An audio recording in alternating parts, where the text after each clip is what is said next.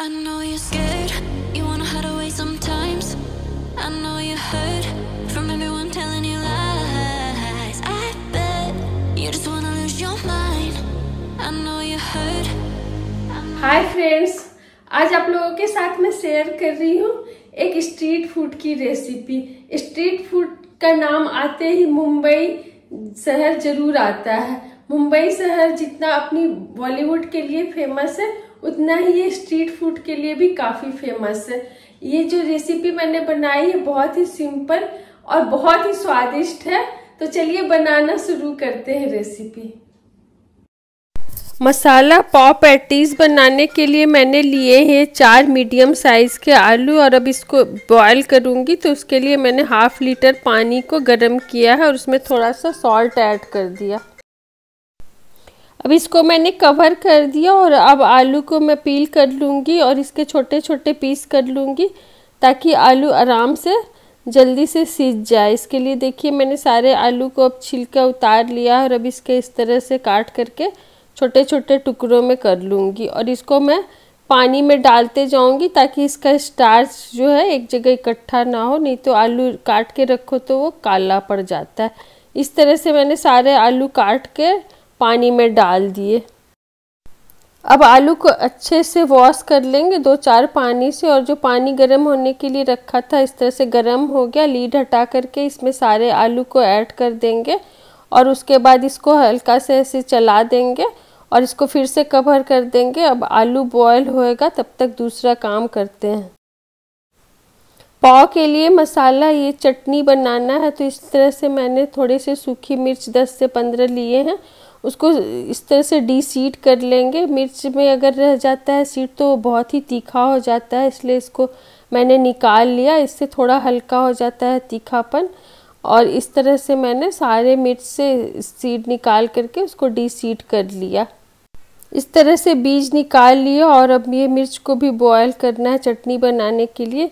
अब एक इस तरह से मैंने गार्लिक का वो पूरा लिया है और इसको पीछे से इस तरह से काट देने से आसानी से छिलका उतर जाता है इसका। इसको और अलग करने में भी बहुत आसानी होती है, इसलिए इसका दोनों तरफ़ से मैंने काट लिया और अब इसको अलग करके इसका भी छिलका उतार लेंगे। अब इस तरह से मिर्च और लहसुन दोनों को मैंने तैयार कर लिया चटनी के लिए। अब आलू का कवर हटा करके चेक करेंगे। आलू बॉयल हो रहा है। अभी इसको इस तरह से मैंने निकाल करके चेक किया। अभी और भी बॉयल होना है। आलू अभी पूरी तरह से बॉयल नहीं हुआ है। फिर से इसको कवर कर देंगे। और दूसरा पैन में भी पानी गर्म करेंगे। बिल्कुल थोड़ा सा पानी लिया है मैंने छोटा सा पैन लिया है। उसमें जो ये मिर्च था, उसको बॉयल कर लेंगे एक मिनट के लिए। अब पानी गर्म हो गया, उसमें मिर्च ऐड करके मैंने इसको भी बॉयल कर लिया। अब मिर्च बॉयल होने के बाद गैस का फ्लेम ऑफ़ करके मैंने इसे उतार लिया और अब इसको पानी से छान लेंगे। इस तरह से मिर्च को भी मैंने छान करके अलग कर लिया। अब इसका पेस्ट बनाना है गार्लिक के साथ। इधर मैंने आलू जो रखा था बॉयल होने के लिए, वो भी अच्छे से बॉयल हो गया। 12 से 15 मिनट लगे आलू बॉयल होने में। अब इसको गैस ऑफ़ करके मैंने उतार लिया और पानी से इसको छान लिया। फटाफट छान लेना है आलू को। आलू को पानी में छोड़ने से फिर आलू लिस लिसा हो जाता है, इसलिए फटाफट इसको छान करके हल्का ठंडा कर लिया और पोटैटो मैसर से इसको मैंने मैश कर लिया। अच्छे से मैश कर लेना है। पूरे अच्छे से मैश कर लिया मैंने आलू को। अब आलू मैश करने के बाद ये जो मिर्च था, उसकी चटनी बनानी है तो ग्राइंडर जार में मैंने ये लहसुन और मिर्च को मिला करके इसमें थोड़ा सा पानी ऐड किया और इसका एक स्मूथ पेस्ट बना लिया। अब इसको निकाल लेंगे किसी भी बाउल में। चटनी तैयार करने के लिए मैंने छोटी सी कढ़ाई ली है, उसमें वन टेबल स्पून मैंने सरसों का तेल डाला है, उसको अच्छे से गर्म होने देंगे, उसके बाद इसमें तैयार पेस्ट को ऐड कर देंगे। अब तेल के साथ पेस्ट को फ्राई करेंगे और उसके बाद इसमें ऐड करेंगे टेस्ट अकॉर्डिंगली सॉल्ट। मैंने बिल्कुल थोड़ी सी सॉल्ट ली है और इसके बाद इसमें ऐड किया है मैंने वन टीस्पून पाव भाजी मसाला। उसके साथ इसको अच्छे से मिक्स कर लिया। दो से तीन मिनट तक इसको फ्राई करने के बाद इसमें मैंने डाला है वन टीस्पून भुना जीरा का पाउडर। और उसके बाद इसको अच्छे से इसके साथ भी मिक्स कर लिया। अब गैस का फ्लेम ऑफ़ कर देंगे। इस तरह से ये चटनी तैयार हो गई।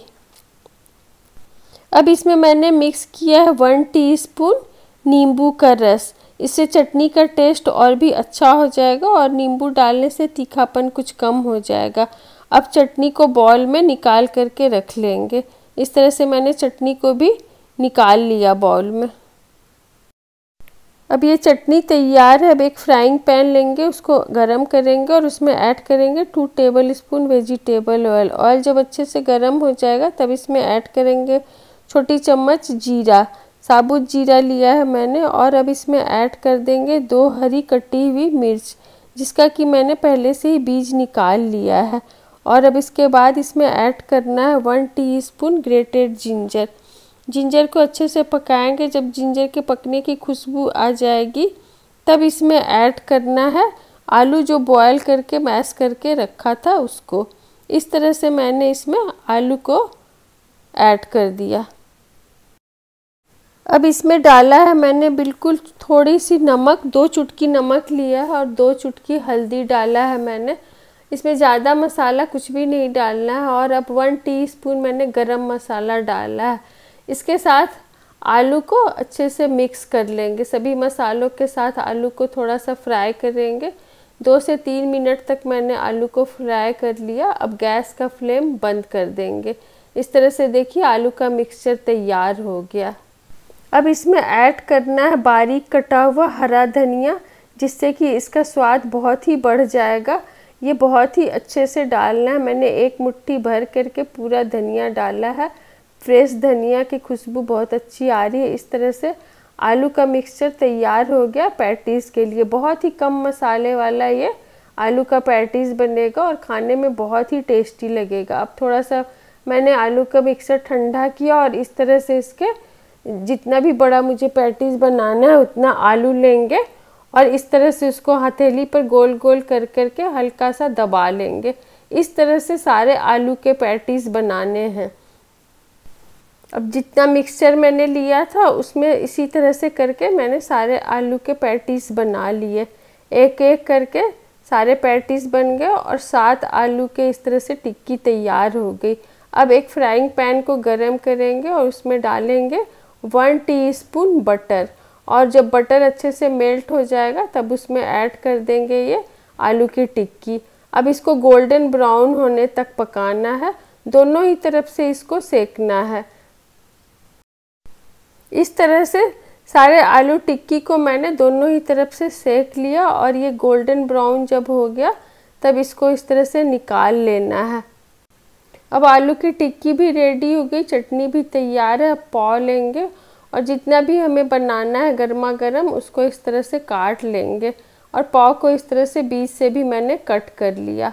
अब चटनी भी तैयार है, आलू पैटीज़ भी तैयार है तो अब पाव को गरम करना है और बस मसाला पैटीज़ पाव तैयार हो जाएगा। अब इस तरह से एक फ्राइंग पैन को फिर से गरम करेंगे और उसमें ऐड करेंगे बटर मैंने वन टीस्पून बटर ऐड किया है। उसके साथ ही इसमें डाल देंगे वो जो चटनी गार्लिक का बना के रखा था। वन टीस्पून ये चटनी डाली है मैंने। अगर तीखा कम पसंद है तो इसलिए मैंने इसमें थोड़ा सा केचप डाल दिया। खट्टे, मीठे और तीखापन का टेस्ट बहुत ही अच्छा आएगा। इस तरह से इसको बटर के साथ अच्छे से मिक्स करने के बाद इसमें ऐड कर देना है थोड़ा सा चॉप धनिया। और इसको भी इस तरह से मिला लेंगे। अब धनिया जब मिल जाएगा, अब इसमें ऐड कर देंगे पाव। पाव को अच्छे से मसालों के साथ लपेटना है।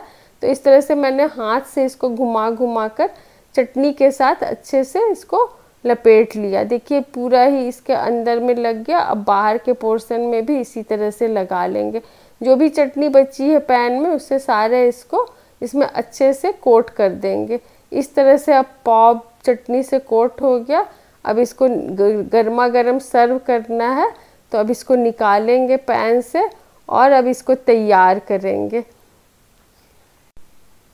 अब ये देखिए, देखने में कितना अच्छा लग रहा है। अब इसमें डालेंगे आलू की टिक्की जो तैयार करके रखी थी, ये इस तरह से मैंने डाल दिया। अब इसमें, इसके ऊपर से मैंने डाला है टमाटर का स्लाइस, इस तरह से कट करके मैंने रखा था। बिल्कुल ही लाल लाल टमाटर लेने हैं।